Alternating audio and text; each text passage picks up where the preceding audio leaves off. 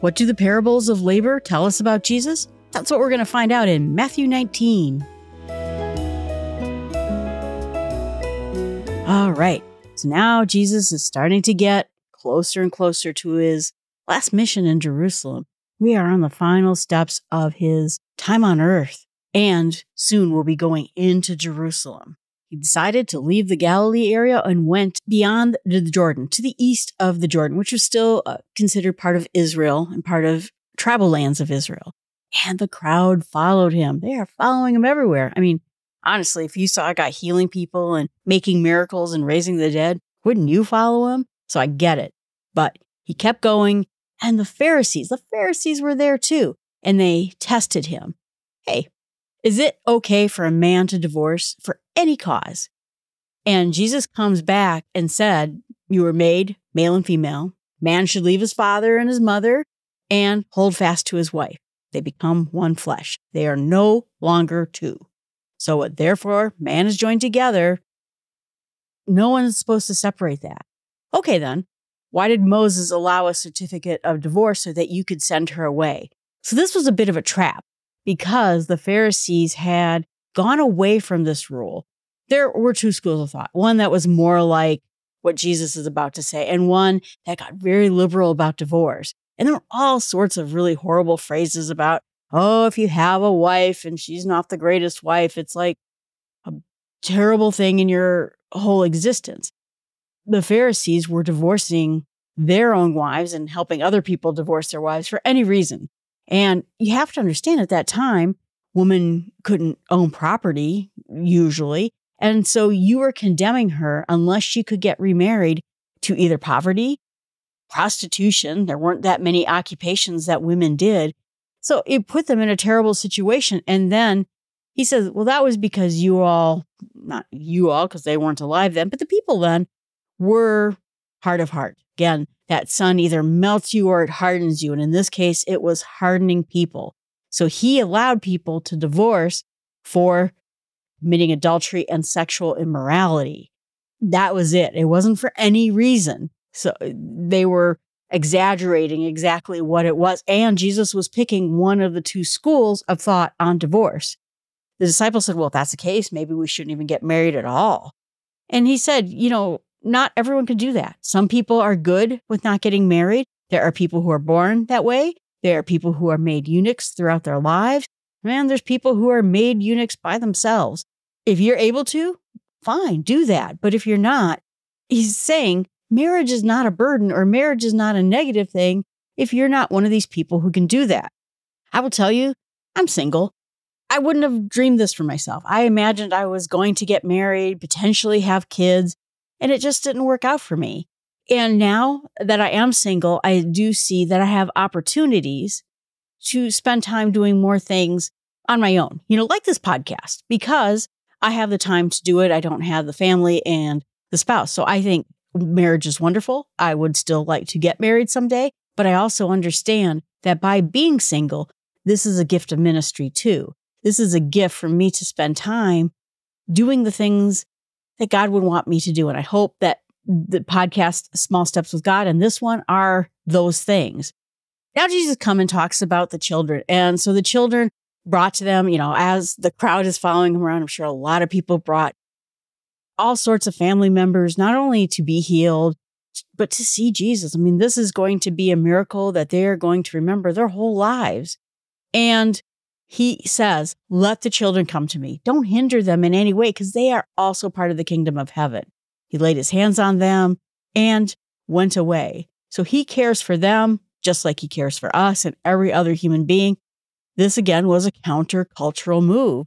The Romans would put children out to die in the woods if they didn't want the children.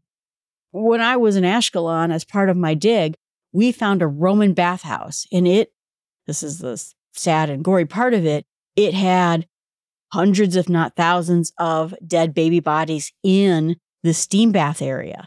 So no one knows why, but it was assumed that these were discarded children from the prostitutes who were in the bath. The Romans, the Greeks did not cherish children unless you were looking for an heir for your kingdom. But for the most part, children weren't considered valuable.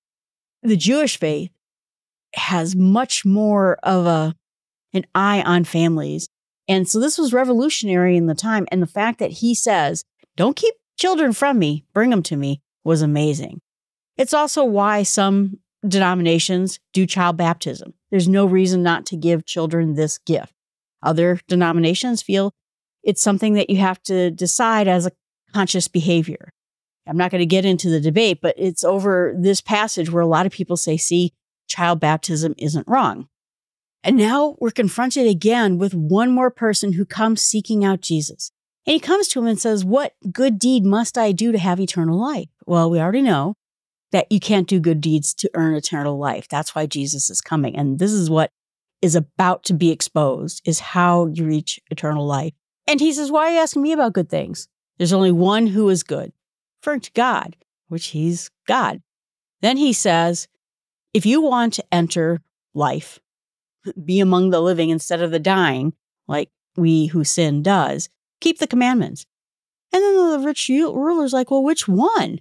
And then Jesus comes back, he talks about primarily the ones that have to do with treating other people.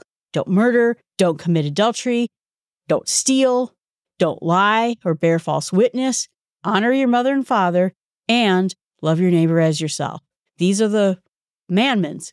And the young man's like, I totally do all those things. That's exactly what I do. I've kept every one of them. Well, first of all, not true because nobody keeps all of them.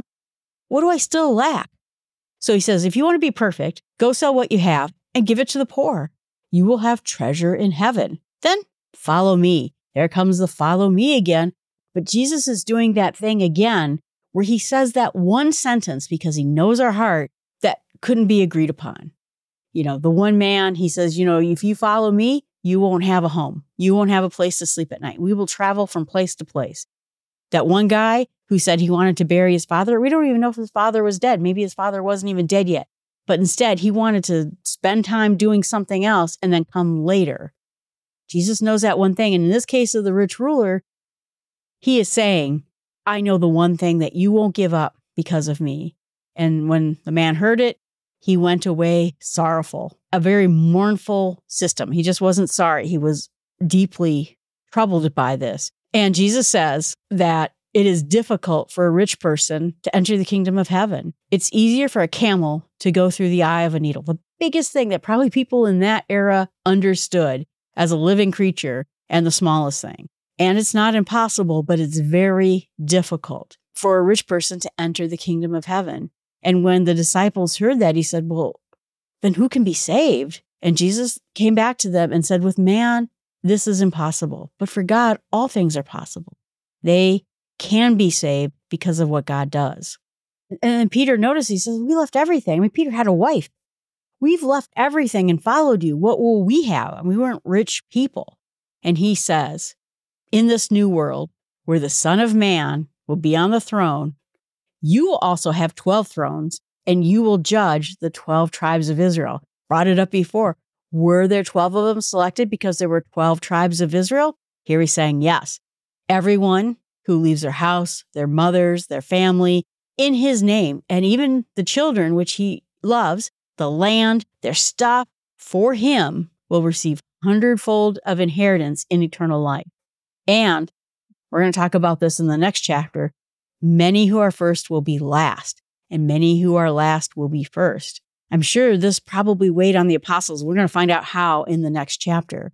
So, again, we are coming close to the end of Jerusalem. And my meditation for all of this is, again, about the rich man. I think compared to standards then, we are all very rich, particularly you live in the United States, you live in certain areas, wealthy compared to what people were living then. And now we have to think Am I doing things that are making it hard for me in the kingdom of heaven, like the camel going through the eye of the needle? Then remembering that it is Jesus where nothing is impossible. My prayer for this time is that I get rid of those things that prevent me from following Jesus because in my head, I have that one thing, or maybe I have many things that if Jesus were here standing in front of me and he would say, give up this, give up your computers and come follow me? What would, what would it be? And so I'm going to have to pray about that. And the part that I want to share is the part where marriage was meant to be forever, that people were meant to be bound together. And when you have that kind of binding, which is why I never got married, I think, is first of all, you have to pick better because this is meant to be forever. So it causes you to be much more detailed in who you pick. But it also means that this person is with you in thick and thin, bad times and good. And when you see things, you know, particularly like um, Hollywood romances where people will get separated and the one will dump all over their ex or tell all their secrets or sing songs about them. This was not the way it was meant to be. It was meant to be that people were bound together, could have trust and faith. And I think that is the intention of marriage. And that is what I want to share with other people is how God meant us to be in this type of binding together until the very end. All right, everyone. Thanks so much. I appreciate you listening to the podcast. Please remember that you can subscribe to the podcast. I'm on Spotify, all the services that use the Apple feed. And if you're interested, you can go to the site, The Bible in Small Steps, and see what the links are to subscribe to podcasts. You can even tell the A lady, you know, the Amazon lady, to play my podcast, and, and she will. So, whatever way you like to listen to the podcast, you can even do so on the website in case you don't have a podcaster choice, or you know someone who doesn't have a podcaster app. And thank you all for listening.